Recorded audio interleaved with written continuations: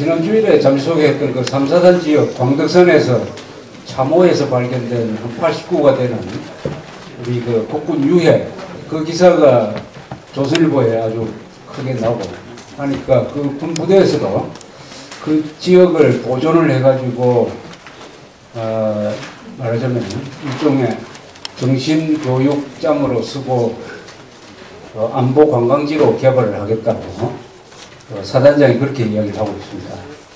에, 국방부에서 그걸 재정적으로 예산적으로 뒷받침을 해주어야 하는데 그때 그 3, 4단의 전사자 수가 14,672명이라고 제가 말씀을 드렸는데 제 느낌으로는 6사단이 더 많을 것 같아서 알아보니까 6사단이 역시 그보다 더 많았어요.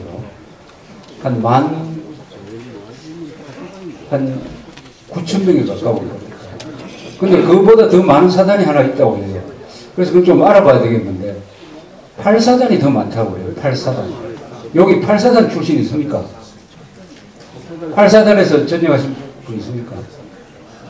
8사단이 왜 많은지, 저 6.25 때 8사단 전, 전서가 별로 안 적혀 있어서 혹시 어디서 포기가 됐는지, 어, 그래서 이 유명한 사단, 우리가 1사단, 3사단, 어, 7사단, 6사단, 9사단, 뭐 이런 사단은 또 수도 기계화 사단, 옛날 그 명호 때 이런 사단은 다 이렇게 만 명이 넘습니다. 전사자 수가 만 명이 넘어요. 그 전사자 수가 많다는 것은 그 부대가 어, 역전의 용사들이라는 데, 그 다행히 요새 부대마다 그 명부를 새기는 데도 있고 명부를 인쇄를 해가지고 그 부대에 배치해 놓고 이렇게 보게 하고 이렇게 하는 것 같습니다. 다시 이제 이야기를 이 개헌제로 돌리면 우리 흔히 개헌 이야기가 나오면은 에, 5년제 단임은 이제 그만하고 어, 8년 중임을 허용하는 그러니까 4년 4년 중임을 허용하는 미국식으로 가야 되는 거 아니냐 이렇게 이야기하는 사람이 있어요. 그게 아마 어떻게 보면 합의점이 제일 많이 나올 수도 있는 것 같은데 어, 지금 추진하고 있는 사람이 그걸 추진하고 있는지 다른 걸 추진하고 있는지 도대체 정치의 불명이니까 모르겠고 그 문제도 그렇게 단순한 게 아니에요. 어, 5년제 단임이 8년 중임제보다 나을 수가 있습니다. 이 4년, 4년 하면은 어떻게 되느냐. 딱 우리나라 같은 풍토에서는 집권하자마자 첫 해부터 4년 뒤에 선거를 생각할 겁니다. 그러면은 파퓰리즘 쪽으로 갈 수밖에 없죠. 아니. 그래서 이거는 5년 단임제 장점이란 게 선거 생각하지 마라. 당신 이거 한 번밖에 없다. 그러니까 오로지 국가 이익을 중심으로 해가지고 5년 동안 욕 먹으라. 욕을 먹으라는 이야기입니다. 5년 단임제의 정신은 대통령은 국가 이익, 헌법, 진실, 정의, 자유 이 원칙에 충실해 가면서 파퓰리즘 정책 쓰지 말고 국가 전체 어떤 지역, 계층 이런 거 하지 말고 정책을 가장 효건, 효율적으로 쓰라. 그런 뜻입니다. 그렇게 되면은 5년이 나을 수가 있어요. 5년이 나을 수가 있는 것입니다. 그래서 이건 제도의 문제라기보다는 운영하는 사람의 문제인데, 에, 단순하게 중임제로 가자. 이 개헌 하나만 하자. 이런 이야기인지 아니면은 다른 것까지 다 바꾸겠다는 건지 그리고 아니고 뭐 지역적인 것을 바꾸겠다는 건지 어, 이게 불투명 어, 하다는 점은 쉽게 말하면 개헌 의지가 없다는 거죠. 뭐 개헌 띄워가지고 되어도 좋고 안 돼도 좋고 그 사이에 공론이 분열되든 말든 나만 이익을 보면 되는 거 아니냐. 그걸 띄워가지고 레임덕을 피하면 되지 않느냐. 이런 계산이 아닌가 그렇게 생각을 합니다. 개헌 이야기를 하니까 자연히 이재호 이야기가 많이 나와요. 그거 다니면 그 사람 이름이 나올 무슨 계제가 없잖아요. 그만큼 지금 덕을 보고 있는 건 확실해요. 그런데 어디서는 그만큼 또 세는 데가 있겠죠. 국가는 세고, 개인은 덕 보고, 이렇게 되면 정치인이 그걸 정상배라고 해요. 정상배. 정치를 장사꾼식으로 한다 해가지고. 정상배라고 해요. 이명박 대통령이 하는 행태 중에서 헌법을 지키는 결단을 내려서 정면 승부를 해야 될 때 안 했기 때문에 나라가 지금 속으로 굶고 있는 게 한두 가지가 아니고 이거는 아마 세월이 지나면 바깥으로 나올 겁니다. 그 중에 하나가 최근에 발표한 논문 몇 개가 있어요. 공무원 시험에 한국 이 근현대사 출제를 하는데 그 문제를 분석을 해보니까 좌익한테 유리한 출제가 가지고 있어요. 그러니까 좌익들이 뭐 독립운동한 거라든지 좌익들이 뭘 했다든지 하는 데 대해서 많이 아는 사람이라야 점수를 많이 받도록 이런 교묘한 출제를 공무원 시험에 하고 있습니다. 지금 지금 현재 공무원 시험에 그걸 바로잡지 못하는 대통령 자기 공무원 자기 밑에서 공무원들이 어떤 시험을 치는지를 모르는 거예요. 시험이라는 게 중요합니다. 출제 경향을 알면은 거기에 맞춰서 공부를 하게 돼요. 지금 공무원이 되려면은 일단 좌익에 대해서 많이 알아야 돼요. 그리고 좌익에 대해서 많이 알면서 좌익에 대해서 호의적인 생각을 가진 사람이 점수를 많이 받는 시험 출제를 지금 하고 있습니다. 지금 공무원 시험에.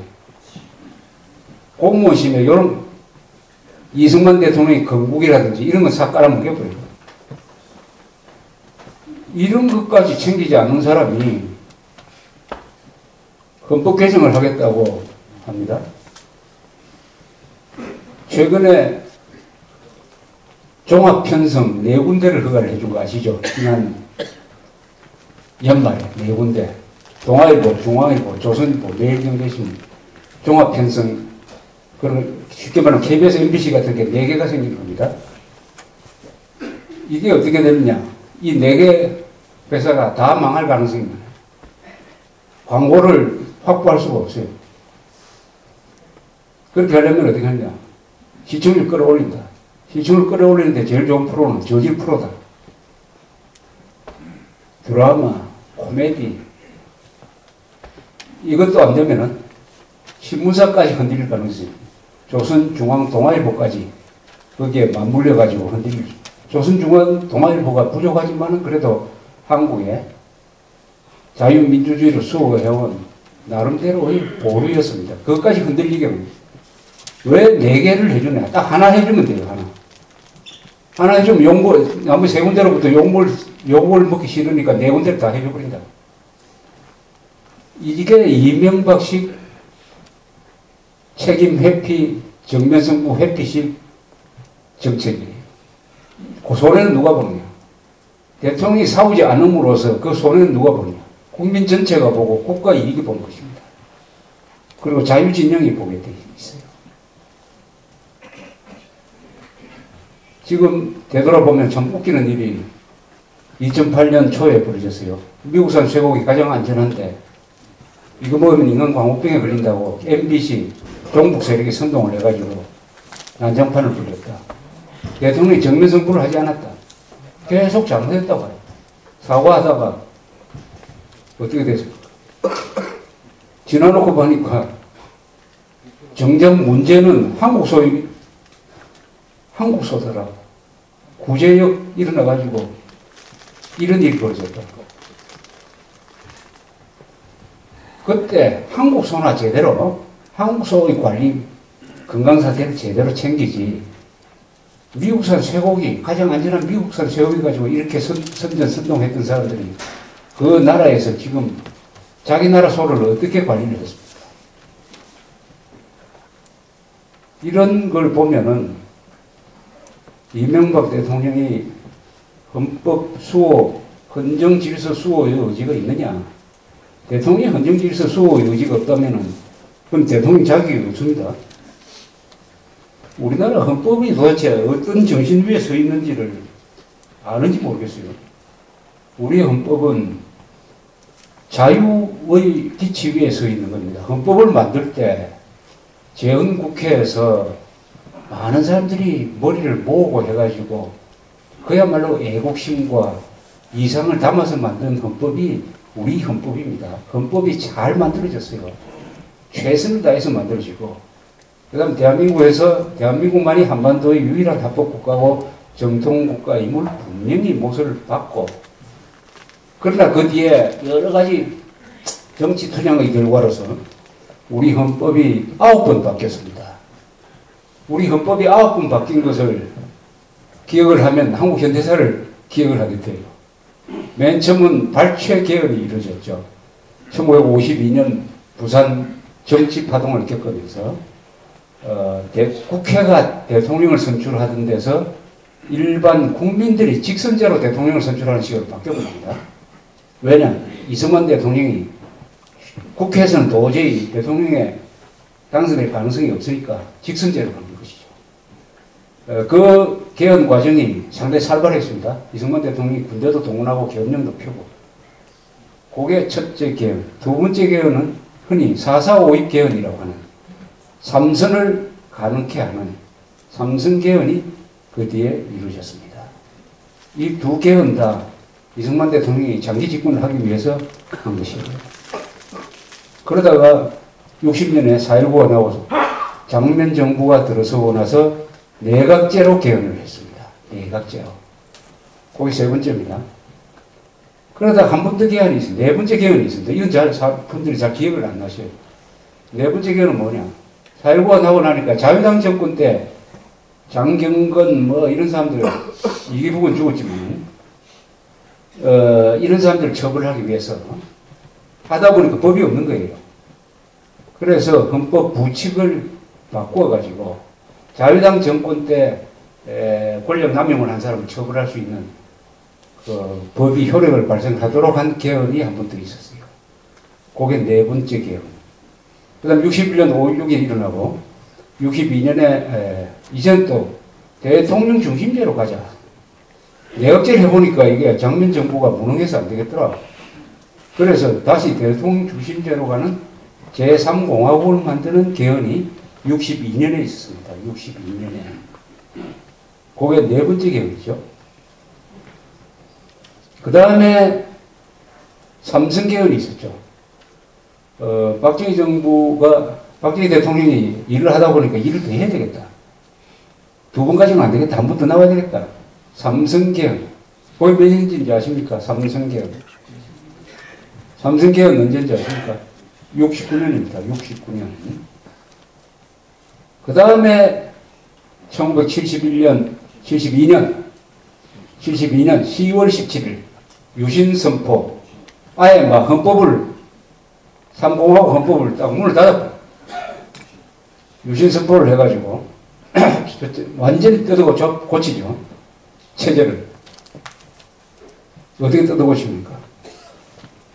대통령 간선제, 통일주체 국민회의 때 이원해서 대통령 뽑는다. 국회에는 대통령이 지명하는 전체 의석수의 3분의 1, 유정회, 유정회를 둔다.